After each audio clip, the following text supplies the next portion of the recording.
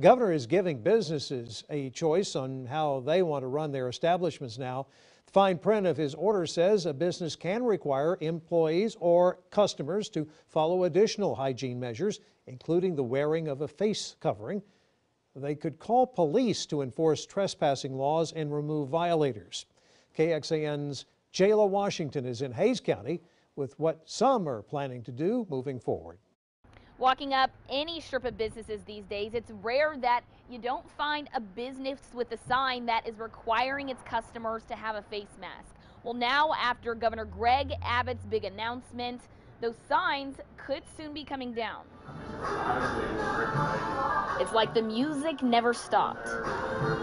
Bars and restaurants like this one, for the first time in almost a year, will now have more control. I'm kind of a back and forth. I mean, I, I understand. I just want to make sure that everything's everybody's safe. With Governor Greg Abbott getting rid of statewide COVID-19 restrictions, including the mask mandate, bar owner Ruby King is excited. Um, it would be great, yeah, to do with that. We would uh, kind of go with everybody else and see what their, their thoughts are on, on that.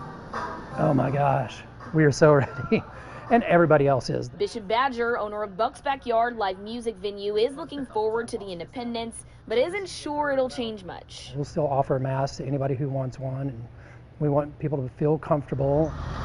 But there are still some who aren't comfortable. Just give it a little bit more time. I think it's too soon for no mask. I'll still be wearing mine. And I find it mildly reckless, and I hope that people don't take this as a it's all behind us approach. And Abbott, understanding concerns, says he won't stop businesses who want to maintain protocols. People and businesses don't need the state telling them how to operate. Getting back in the rhythm of a new old normal. Only time will tell if this will happen. We'd probably get a little bit, maybe a little bit more people that would be coming out. Jala Washington, KXAN News.